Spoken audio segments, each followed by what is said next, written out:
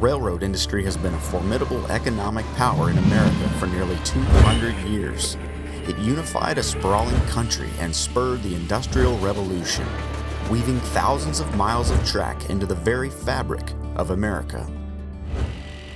When track speed is reduced or even halted due to poor roadbed conditions, prolonged water intrusion can compromise the track bed even more.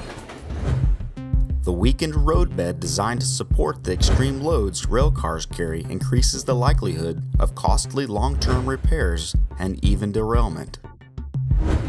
Let's explore a unique polymer technology offered by URETEK ICR.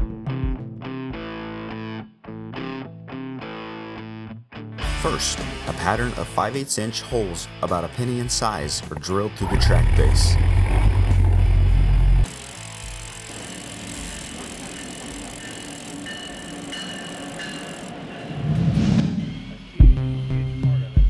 Once the injection holes are drilled, operators inject a patented structural grade polymer beneath the track bed.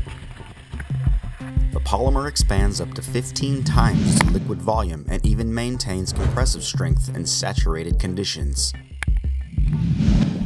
Tightening the loose soil and forcing trapped water out from under the roadbed.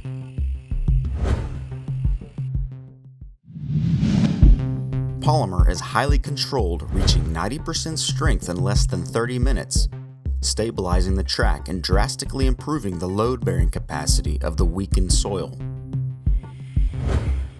Three to four man crews are capable of stabilizing long spans of track quickly with surgical precision. All right, we're finished up for today. We got approximately 80 feet of track shot behind us. Uh, completely stabilized, started at the far end, shooting it this way. About 100 feet a day is an average for a crew like this. So economical, quick, effective, works really well.